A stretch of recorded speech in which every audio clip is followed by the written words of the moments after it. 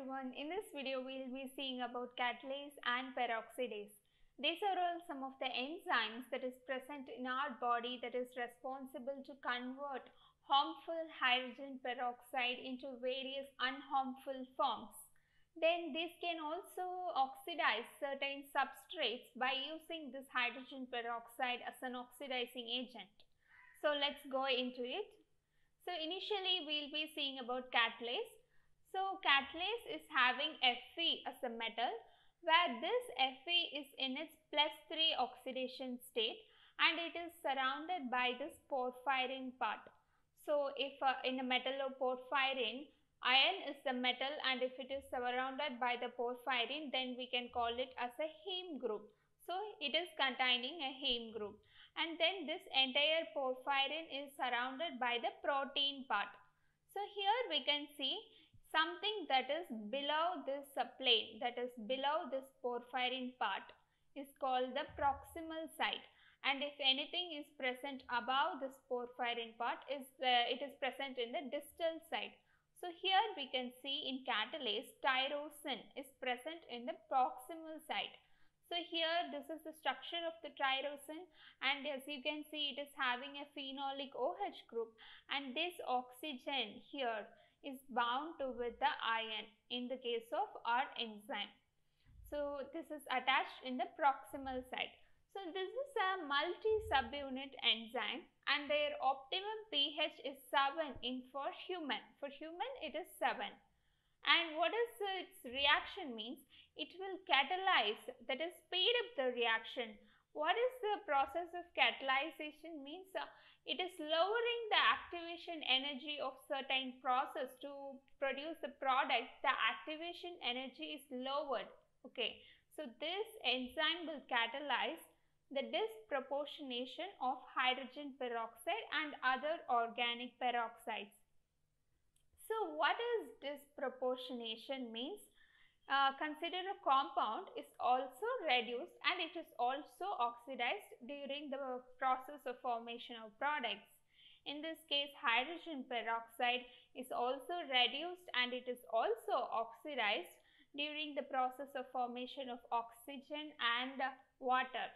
So why do we need to disproportionate this hydrogen peroxide means this is very harmful for our tissues and cells. It can damage it. So we have to convert this into a form which is not harmful for our body. That's why it is converted into oxygen and water molecule. Here we can see that during this process 2 moles of that is 2 molecules of hydrogen peroxide is needed and 1 molecule of oxygen is needed and 2 molecule of water is needed. And then this can also catalyze various oxidation of substrate where here this hydrogen peroxide we all know that it is a very good oxidizing agent. So this uh, hydrogen peroxide will act as an oxidizing agent and it can oxidize any substrate and this enzyme will uh, catalyze this process. So here they have mentioned that in books it can, this catalase can convert millions of hydrogen peroxide each second. So, how many processes are going on in our body? Various processes are going on in every second. So, this catalase is having two forms. Initially, uh, it is in the Fe3+, that is in their reduced form it will lose uh, this electron and it will convert into Fe4 plus state which is the oxidized form. In both the form it is colored. Why is it colored mean? It is uh, due to the pi to pi star transition that is uh, involving the porphyrin ring. We know that the porphyrin ring is conjugated around the boundary and it is containing the double bond in it. So here this double bond will be responsible for the pi to pi star transition and hence this catalase is colored in both the forms. Coming to peroxidase, there is everything is having similar structure only the axial ligands that is the ligands present in the proximal site is varying. As you can see they are having similar structures but the axial ligands are varying. Here you can see that Similarly, Fe is present and it is in the 3 plus oxidation state and it is surrounded by the porphyrin part. Hence, we can call it as a heme group and so it is a heme protein. And in the axial side, here we can see histidine is present. So, there are, uh, I have mentioned two peroxidase here, horseradish peroxidase and chloroperoxidase. There is also some other peroxidase like cytochrome C peroxidase. Uh, I haven't mentioned it. But here this is the structure of horseradish peroxidase and this is for chloroperoxidase. So in what is the difference here is in the case of horseradish peroxidase the axial ligand in the proximal site is histidine. So this is the structure of histidine and this is the imidazole part that is present in the histidine where this is the nitrogen in the imidazole part. This nitrogen is attached to our Fe, Fe which is in the 3 plus state. And in the case of chloroperoxidase, so it is uh, the axial ligand is cysteine. So this is the structure of cysteine. It is containing a thio group as you can see here. This thio group S is bound to the Fe which is in the 3 plus state. So what is their function? They can catalyze the oxidation of substrates like ascorbate, ferrocyanate, cytochrome C and this is done by using hydrogen peroxide. So here hydrogen peroxide is acting as the oxidizing agent and hence this uh, enzyme will be catalyzing the process. now we will be seeing the mechanism. For both the enzymes that are peroxidase and catalase, the mechanism is similar like it is only two steps. They both follow the same mechanism. We will be seeing it. So initially Fe is present in its plus 3 oxidation state and it is surrounded by the porphyrin. That's why it is represented as P and this entire thing is called the heme part of the enzyme. Okay. Later on, this is reacting with our hydrogen peroxide. How it can react? As you can see in everything, there is vacant. The position above, that is the distal site is vacant. Something can bind there uh, to make it octahedral. So, in this case, a hydrogen peroxide will go and uh, bind in that sixth site okay so that uh, this uh, hydrogen peroxide is the substrate and then finally it is forming Fe4 oxo group is present and P plus. So what is this? We will see. So here in the first step note it very clearly H2O2 is the oxidizing agent oxidizing agent means it will oxidize others and itself it will get reduced. Reduction means we can say either gain of hydrogen or loss of oxygen. In this case our hydrogen peroxide is losing one of its oxygen to our enzyme. That's why this Fe is now having one oxygen attached to it. Later on, this is a oxidizing agent. So, it has to oxidize our enzyme. So, our enzyme has to now get oxidized. Oxidized means loss of electron. So, both of them will get oxidized. First, Fe can oxidize uh, by losing one electron and it can form Fe4 plus and later on it can uh, lose another one electron and convert into Fe5 but what happens is this porphyrin ring will have the pyrrole part, right? In the pyrrole, the outer boundary is fully conjugated by double bond. One of the pyrrole double bond will donate one of its electron. So, this electron is lost to the Fe and later on this electron is remaining as it is. So, this is called radical cation. So, this is the radical and this is the cation. So what happens is this electron is donated to our Fe. So now Fe which is in the plus 5 oxidation state gains one electron and it will be converted into Fe4. I hope it is clear. So that's why Fe is in the plus 4 oxidation state and P is denoted as plus because P plus denotes this radical cation that is formed in the porphyrin part and this oxo group comes from hydrogen peroxide. Later on there is a release of water molecule because H2O will be remaining. So this is the first step and this thing formed is uh, represented as compound 1. Later on I will just tell compound 1. So this is called compound 1. So this is a first step product.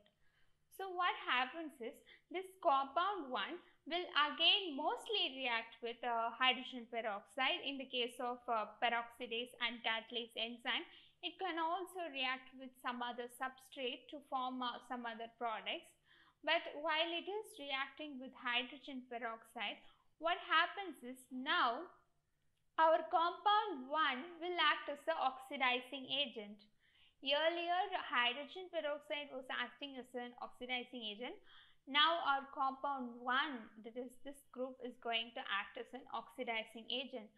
So it will get reduced and this is going to get oxidized.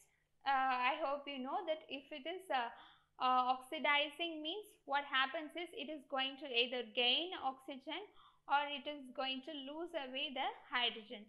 So, in this case this hydrogen per peroxide is losing away its hydrogen and so this is now losing H2 and then uh, we know this is going to get uh, reduced Reduction means gain of hydrogen or loss of oxygen.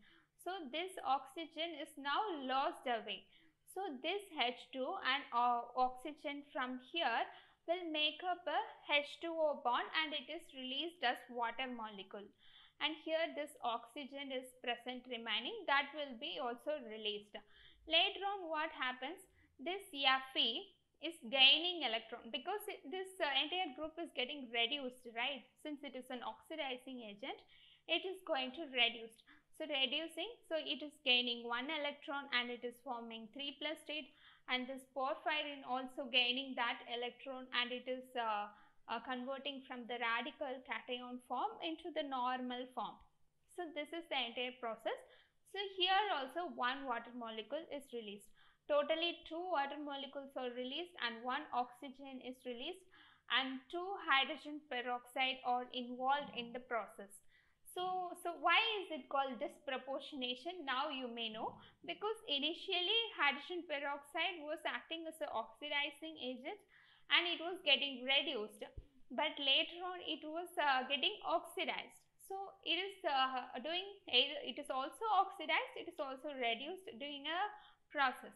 That's why it is called the disproportionation of hydrogen peroxide. Hope you are clear with the entire mechanism.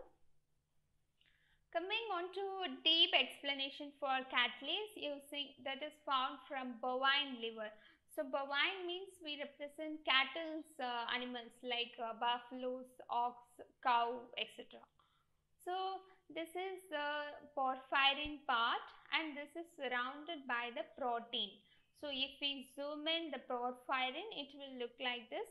Here this is the Fe which is in the plus 3 oxidation state and this is the porphyrin part. It is containing various substituents that's why it is called porphyrin and in the proximal position we have already seen catalase will have tyrosine in their proximal position.